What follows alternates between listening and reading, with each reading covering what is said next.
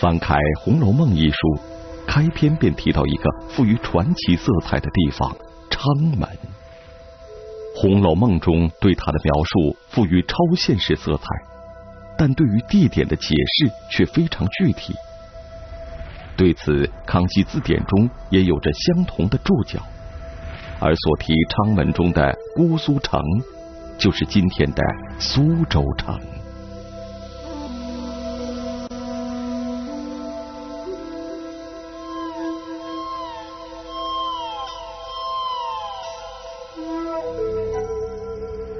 其中对苏州城的描述，我们今天还能找到现实的注脚。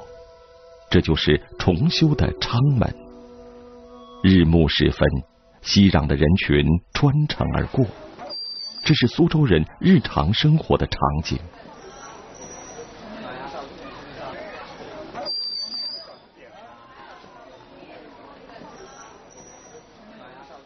天门是昌字最确切的释义，此外，它还意指皇宫的正门。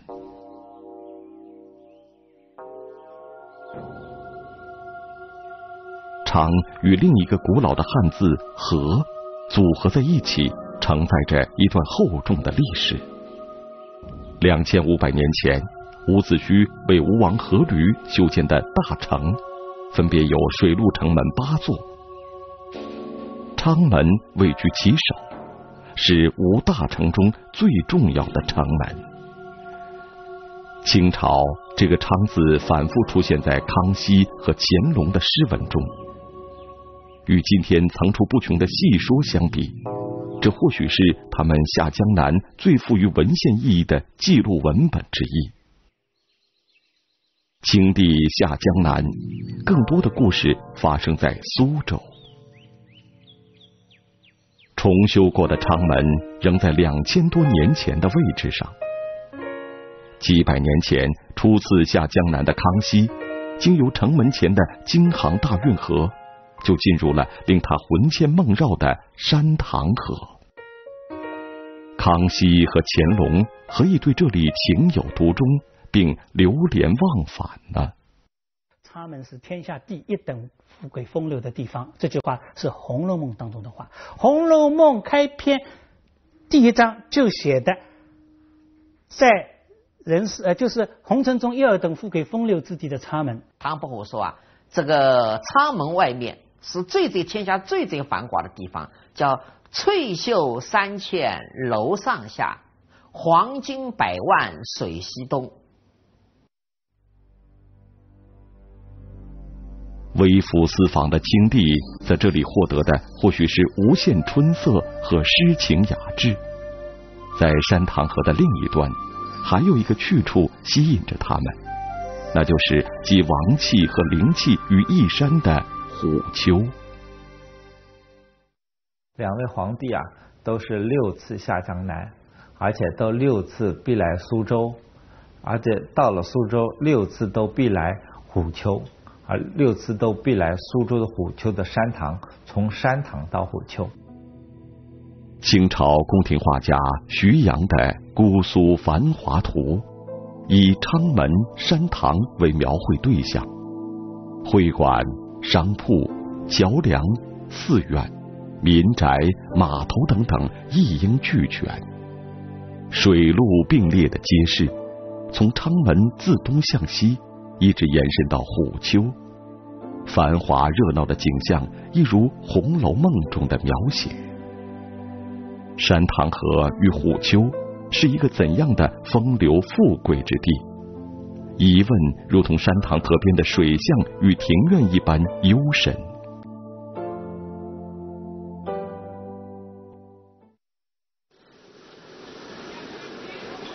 在这家名叫德月楼的传菜馆中，厨师们正在忙碌。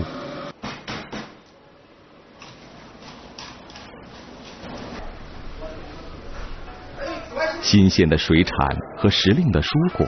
被用于制作风味独特的美味，这些美味被称为传菜。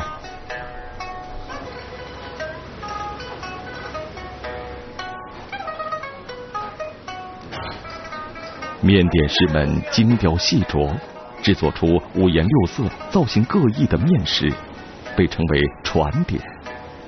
传菜和传点都起源于明清时的山塘河。这种与水上生活密不可分的美食独具风味，在当时的山塘街和苏州城十分流行，流传至今仍然十分红火。越来越越来越少了，越来越少了。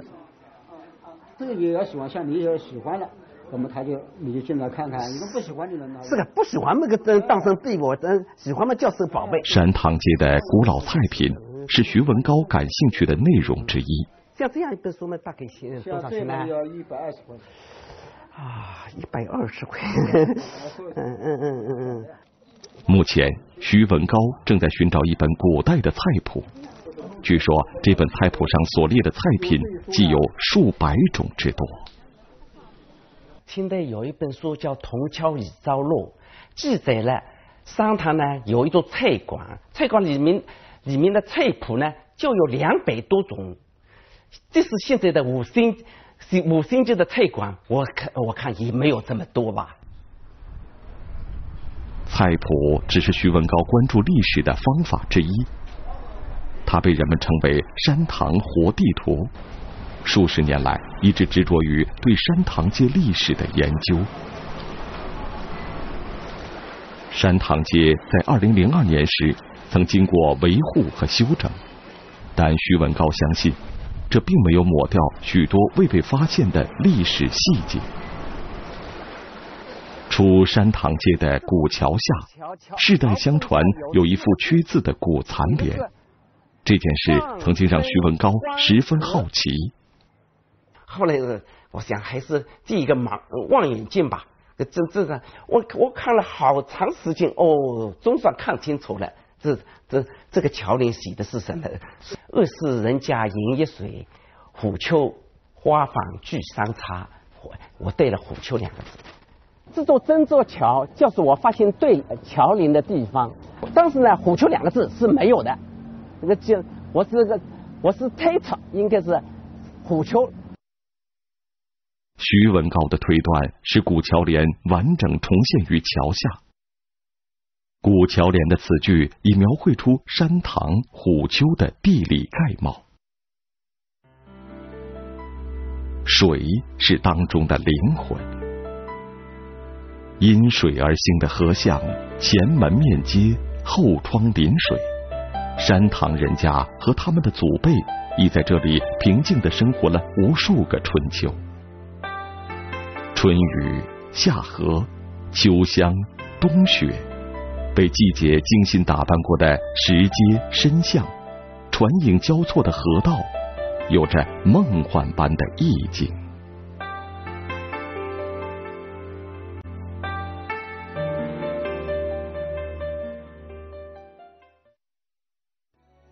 山塘街今天的熙攘，来自旅游者们。什么时候，又是谁为苏州留下这样一片风水宝地？这是每一个初来山塘的人最为好奇的事。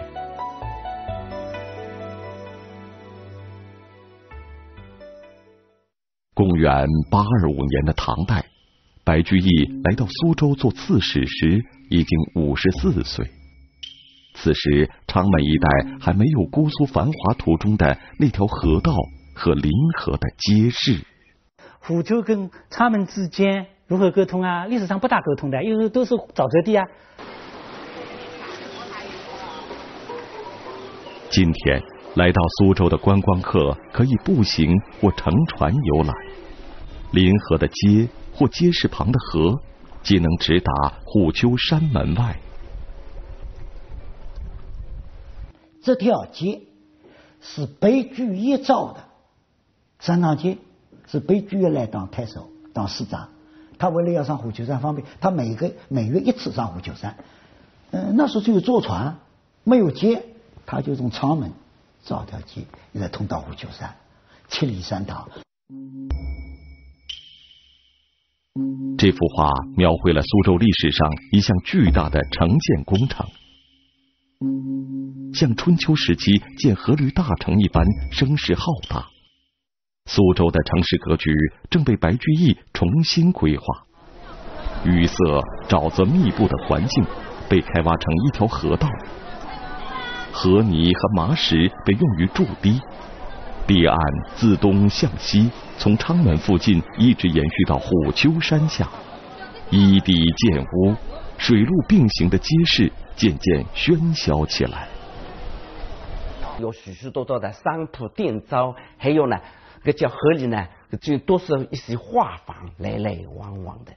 从最繁华的地方出发，到吴中最好玩的地方虎丘，所以说三塘街就兴旺起来了。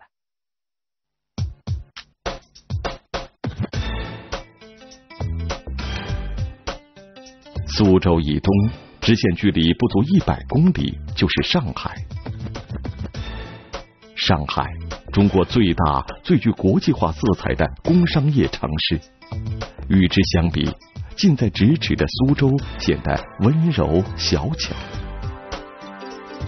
然而，许多人并不了解，本世纪以来的几年中，苏州的综合实力在中国遥遥领先，成为中国第二大工业基地。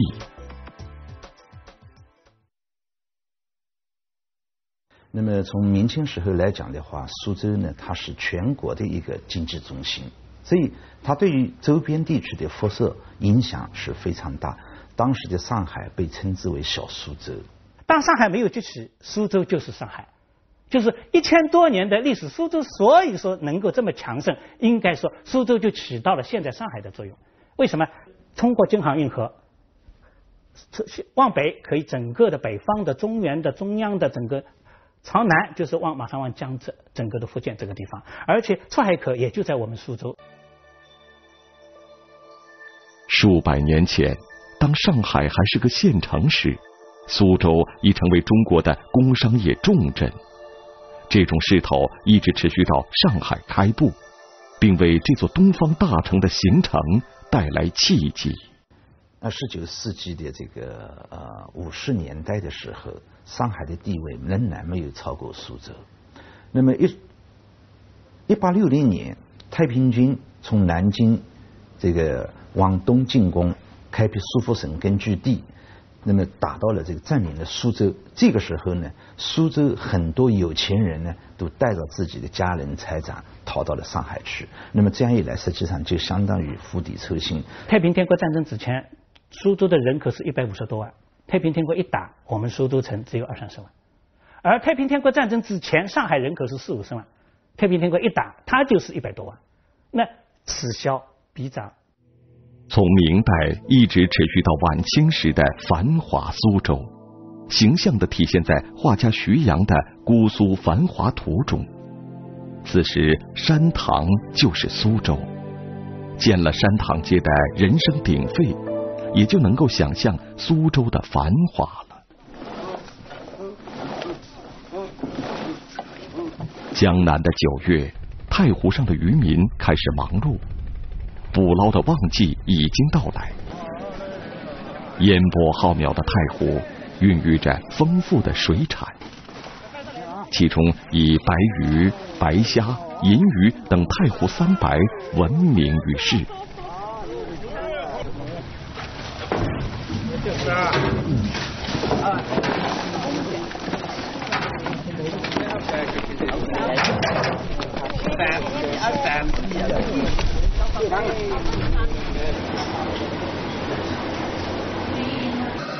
川菜主要的烹制技艺仍然沿袭着明清之际的传统，对时令湖鲜的及时运用也是传统的重要内容之一。鱼肥虾跳的时节，船只载着新鲜的水产，沿着山塘河，带着太湖、阳澄湖的水汽，进入山塘街上的闹市，随即变成食客们餐桌上的最时鲜的船菜。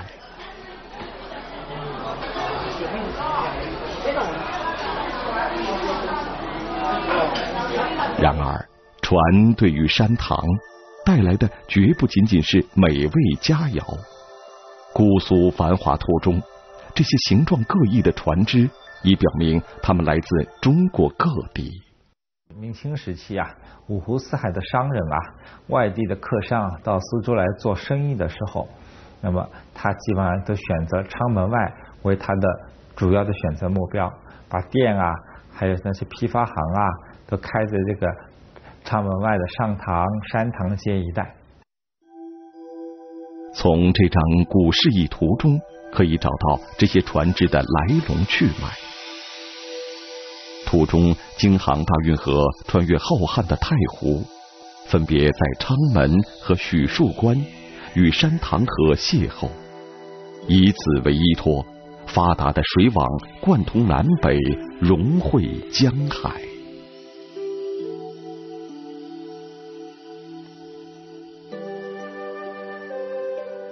据说“吴”字的字形就源于吴地大小水系交织的地貌形态。远古吴地一片泽国，大海退去，长江入海口一路往东延伸，形成湖沼相间的网状式冲积平原，沃野千里。太湖周边密集的水网舟楫，带来了发达的商业。早在运河开通之前的汉至两晋时期，苏州的商业已经崛起。唐宋之际，随着大运河的开通，中国的经济中心由中原转移到江南。借助运河与山塘河，到明清之际，苏州成了人稠过杨府、方闹半长安的繁华之都。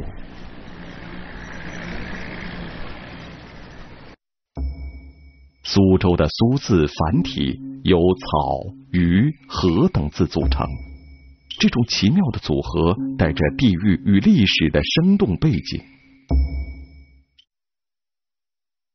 鱼米之乡的风俗是商业经济繁荣的基础，而发达的商业经济又直观的反映出苏州地区的富庶。明清两代五百年间。世界第一大城苏州，全世界这个两百年就超过一百万人的人口只有两个，苏州跟北京，北京是一百万，苏州是一百三十万。二零零四年十二月，在对昌门附近瓮城的发掘中，考古学家发现了许多古代的瓷片和玉石石料。进一步的发掘，人们被眼前的情景震惊了。瓷器碎片层出不穷，它们有着各不相同的质地、器型和制作工艺，赋予审美情趣的色泽与图案活灵活现。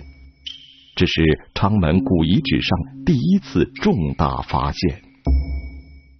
那么像这种瓷器嘛，它就是全国各地的，北方的也有那个定窑的，南方的没有那个浙江龙泉的，还有那个江西那个叫什么景德镇的都有。很多瓷，它的品种也蛮多的。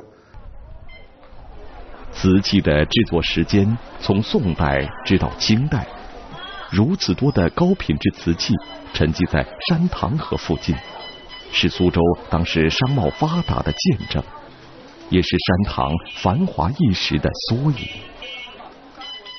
啊，这这边是嘉庆年间、嘉庆五年曾曾经重修过。徐文高的研究十分注重实物，山塘街古代的商业经济也是他关注的重要内容。多年的悉心探寻中，他曾找到过不少古代的碑刻，并得以清理当中的一些线索。对于山塘街上的古代会馆，他如数家珍。这个其实是是看起来很威猛，以前大门口放了两只石狮子。现在叫现在非常有气派，特别是会馆门前门前，它的门门楼呢，一般造造的非常之高大，现也现实是当年他们那个会馆的经济实力的的雄厚。现存的大量会馆遗址成为一种重要背景。当年在这些高大的门楼与庭院中，商贾宾客络绎不绝。来自南北各地的方言不绝于耳。古代的诗词，唐伯虎、祝子山的诗词歌赋，明代许多的名人悲剧的诗好几首，保留下来的文化遗产都在这个山塘街上。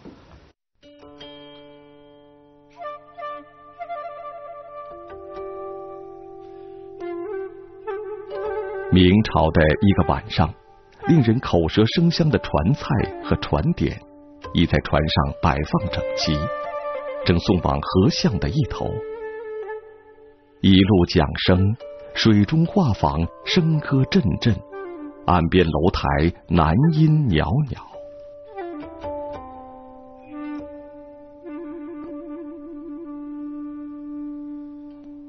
枕河的花窗中。色泽雅逸的苏绣背后，秀女的面孔艳丽至今。许多属于山塘街的故事，一直活到今天。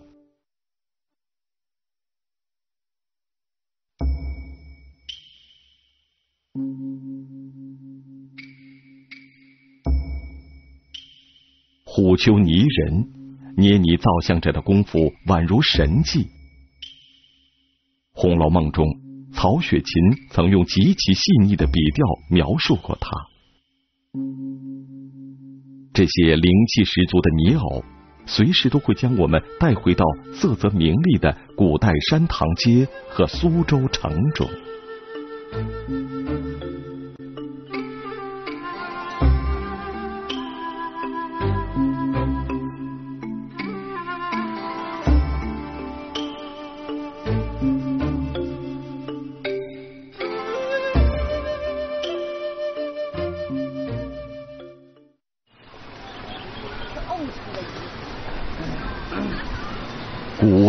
唐门，两千多年来历经修复。中国的许多古迹，历朝历代都在改善固修中。正如白居易一千一百年前对苏州所做的一切。对山塘街大规模的修复完善工作始于二零零二年。某种意义上，这只是对古老脉络的一种梳理。与古老灵魂的一次对话，从未断裂的血脉带来气韵悠长。没有人怀疑，山塘街仍然保持着它那典雅的风情与风骨。